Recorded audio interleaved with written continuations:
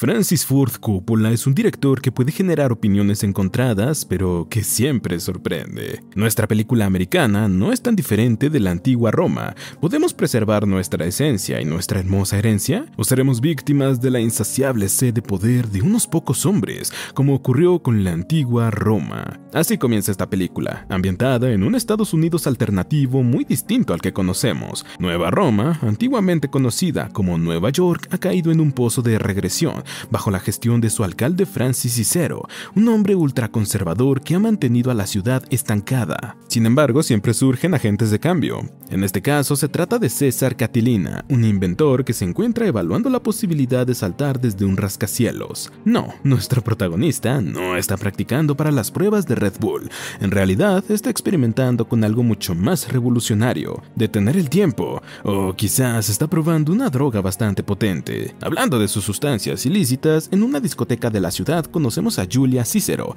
hija del alcalde y mujer que lleva una vida desenfrenada en el interior, aunque intenta ocultarlo. Sin importar cuántas veces se escape de los hombres de su padre, siempre logran encontrarla en sus escondites favoritos. Antes de irse con ellos, Julia se despide a regañadientes de Claudio Pulcher, un pretendiente que no ha logrado ser más que eso, un simple pretendiente. De camino a casa, se enfrenta a la demolición de un edificio bajo la supervisión de un misterioso arquitecto que tiene la capacidad de detener el tiempo a su alrededor, César Catilina. Solo dos personas pueden moverse durante el congelamiento temporal, él y Julia. Tras la demolición, el asistente del alcalde reprende a César por destruir algo que no le pertenecía, aunque a él no le importa su opinión. Después de todo, la autoridad del alcalde se desvanece cada día, mientras que la del arquitecto crece, especialmente gracias a su invento, el megalón, un material de construcción bioadaptativo que podría cambiar el mundo. Sin embargo, César primero quiere cambiar Nueva Roma, por ello se presenta en un evento para mostrar su visión soñada de la ciudad, patrocinado por su tío Hamilton Crassus,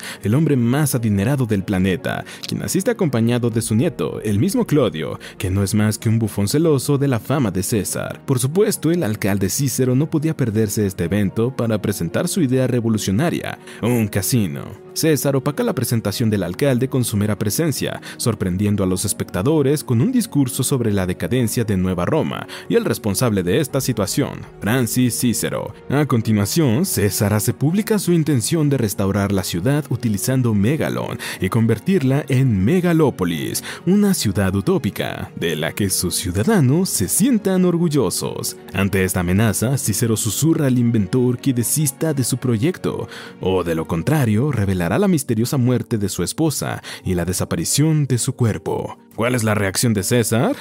Continuar con sus planes. Mientras el alcalde es acechado por su ataque de ira, el arquitecto es vitoreado por el público. Nueva Roma ha encontrado un nuevo líder. De vuelta en su hotel, César se reencuentra con su amante, Wow Platinum, una famosa reportera local que está cansada de vivir a la sombra.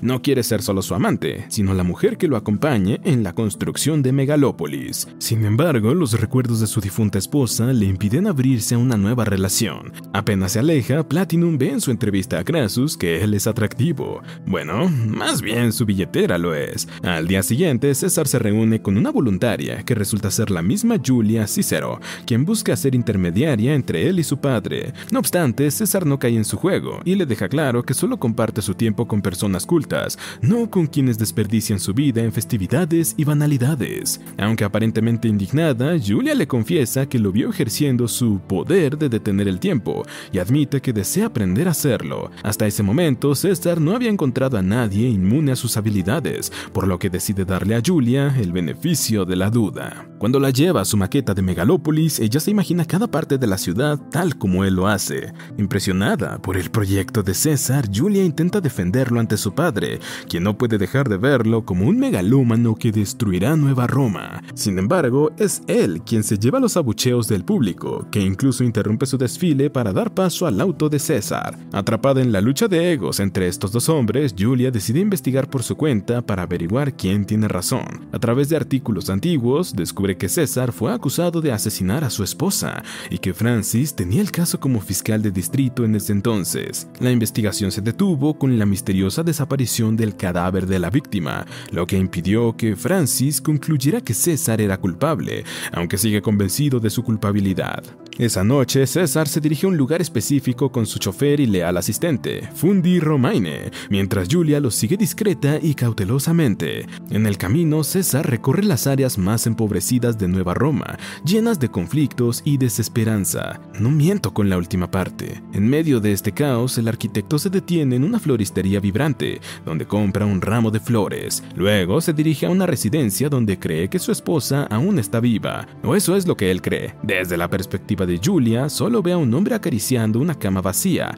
Asustada, se retira antes de ser descubierta. Al día siguiente, Julia retoma su papel de aprendiz de César, quien la invita a observar la ciudad desde las alturas y a planificar sus próximos movimientos. A Platinum ya le dieron resultados sus planes, logró conquistar el corazón de Crassus y están organizando su recepción de boda en el Teatro de Nueva Roma, equivalente al Coliseo de la Antigua Roma, un lugar de esparcimiento para los ricos que observan desde fuera a los menos afortunados. En ese momento, el público enloquece con la llegada de Vesta Sweetwater, una adolescente estrella pop que preserva su inocencia, algo precioso en este mundo. Además, es gran fanática del trabajo de César e incluso ha hecho su vestido con Megalon. Durante los juegos en el Coliseo, Julia es entrevistada por una joven reportera interesada en su relación con César, considerando la rivalidad con su padre. Tras respuesta ambigua, se queda sin palabras cuando le preguntan si César es su pareja. Mientras tanto, él aprovecha que no es el centro de atención para drogarse tras el escenario, junto a los invitados más despreocupados. Mientras el público disfruta de un espectáculo circense, el protagonista se pierde en sus pensamientos y cae en los brazos de una mujer, o eso parece. Pronto se revela que en realidad es Claudio disfrazado, quien soborna a los organizadores del evento para que muestren el contenido de un pendrive sospechoso. Durante el espectáculo musical de Vesta, los millonarios participan en una subasta para mantener la promesa de ella de permanecer virgen hasta el matrimonio, resaltando la fascinación que sienten por su pureza. Una pureza que se desvanece cuando los secuaces de Claudio transmiten un video de Vesta teniendo relaciones con el mismo César, lo que destruye enormemente la reputación de ambos y desata una trifulca entre los espectadores. El alcalde Cícero aprovecha la ocasión para pronunciar un discurso en contra de la corrupción de César, quien a su vez es agredido por los fanáticos más puristas de Vesta. Y lo peor es que sigue drogado. Aunque Julia intenta llevarlo al hospital, la policía los detiene y arresta a César por abusar de una menor. Julia y Romaine defienden a César, argumentando que el video es un engaño, mientras él duerme plácidamente en el asiento trasero de la patrulla. Por otro lado, Claudio celebra su victoria, recordando que la venganza es un plato que se sirve mejor frío. Sin embargo, Julia no se rinde con el caso. Gracias a sus contactos, descubre que Claudio manipuló el video y que Vesta en realidad es mayor de edad. Inicialmente, Julia presenta la evidencia a su padre, esperando que actúe con justicia, pero él no tiene la intención de darle un respiro a César. Así busca a Hamilton, pero primero debe sortear la defensa de su nueva esposa. Platinum, sintiéndose amenazada, deja claro que tanto Crassus como César le pertenecen, aunque ya no esté con este último. A pesar de lo incómodo de la visita, valió la pena, ya que Crassus se encarga de esparcir la verdad sobre las falsas acusaciones contra César. Vesta aprovecha el escándalo para abrir una nueva etapa en su carrera, abandonándose a la adrenalina y al exhibicionismo. En cuanto a César, regresa a lo alto de su rascacielos en construcción, donde recibe la visita de Julia. Cabizbajo admite haber perdido su don tras el arresto. Lejos de compadecerlo, Julia le aconseja dejar de detener el tiempo por él, sino por ella. Sorprendentemente, el tiempo se detiene cuando toma la mano de Julia y no duda en lanzarse a besarla. Esa misma noche, el alcalde Cícero despierta asustado por una pesadilla.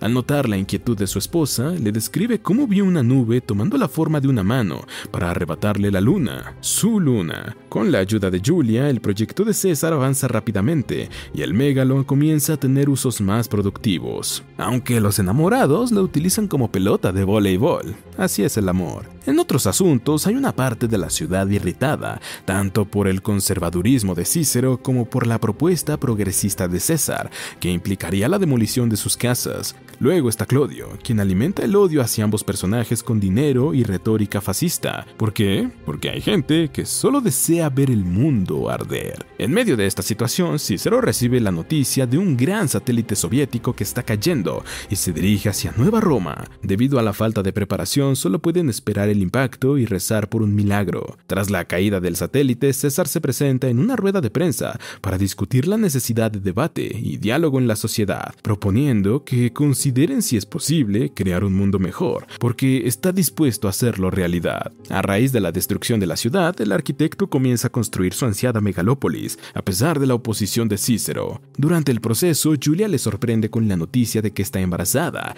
Su fachada de filántropo se desmorona de inmediato, al convertirse en un padre frustrado que ha perdido a una esposa embarazada. El embarazo también obliga a César a reconciliarse con Cícero y su esposa. Mientras que la señora se alegra por la noticia, el alcalde no puede dejar de lado su rivalidad con su yerno. Se le hace fácil mantener esa arrogancia hasta que su propia hija lo confronta, usando la filosofía que él siempre predica. Reacio a la reconciliación, Cícero se retira indignado de la casa de su hija y de su futuro nieto. En cuanto a los problemas de la ciudad, Claudio se convierte en un referente fascista con seguidores radicales que no aceptan un no por respuesta. Sin embargo, continúa viviendo a la sombra de su primo. Hablando de César, recibe una visita inesperada de Cícero, quien promete renunciar a la alcaldía si él termina su relación con Julia. Incluso confiesa que se deshizo del cadáver de su esposa en un intento fallido de perjudicarlo. Aunque el arquitecto ha esperado este momento, no tiene intención de aceptar bajo esas condiciones. Al mismo tiempo, Platinum intenta regresar a su vida ofreciendo robar el dinero del banco de Crassus como ofrenda de paz, pero César también rechaza esa oferta. Ante su frustración, Platinum utiliza su influencia para promover una campaña de desprestigio hacia el Megalon y sus supuestos peligros, que no son más que mentiras. César ignora el asunto, hasta que un niño que se le acercó en busca de un autógrafo termina disparándole en la cabeza. El desafortunado hombre ve su vida pasar ante sus ojos, pero logra salvarse gracias a su injerto de piel de Megalon. Durante su recuperación revive el accidente automovilístico que resultó en la muerte de su esposa, así como de las dos criaturas que llevaba en su interior. Por otro lado, Claudio reprende a su segundo al mando por haber organizado el atentado contra su primo, ya que solo lo convirtió en un mártir. Después de esto, Claudio vaga sin rumbo, hasta que Platinum lo seduce con un plan para apoderarse del banco de Hamilton. Siguiendo las recomendaciones de ella, Claudio finge estar listo para asumir el mando del negocio familiar. Cuando Crassus descubre el engaño, ya ha firmado la entrada de su nieto al banco. Volviendo a César, este se casa en una ceremonia privada junto a su bebé recién nacido. De una escena agradable, regresamos al caos total provocado por Platinum y también por Claudio, quienes logran que la junta directiva despida a Crassus como CEO del banco. Con renovado poder financiero, Claudio incita manifestaciones violentas contra Cícero, hasta que este y su familia deben refugiarse en su búnker subterráneo.